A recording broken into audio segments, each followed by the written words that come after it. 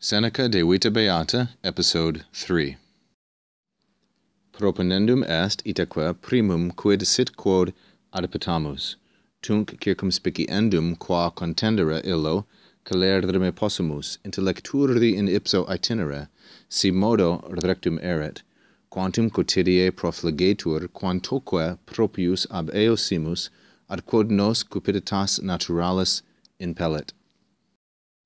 Here you can see on this map Corduba, which is the place of Seneca's birth, and it is in Hispania Ulterior.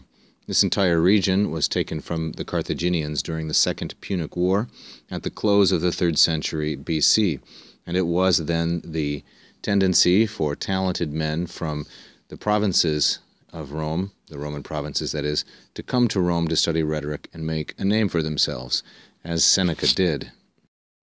Recall in the previous episode, we talked about what was the primum, the first obligation in finding out how to lead the happy life. First, it must be proposed what that thing is, quod ad petamus, which we seek. Next, or then, here we resume with tunc, circum spiciendum est. We must carefully investigate. There must be a careful investigation, a looking around, circum and spicio. We must carefully see qua, how, that is, by what means, contendere illo celerrime possumus, we might be able, possumus, to head toward it. Illo here is functioning as an adverb, and it represents the happy life or the place to which we are going, by which we might head toward that, illo, very quickly, celerrime. Intellecturi is, has with it implicit sumus. We shall be able to understand, in ipso itinere, on the actual journey, si modo rectum erit, provided it be a correct one, provided the journey be the proper path. Now, we might wonder why rectum is in this form.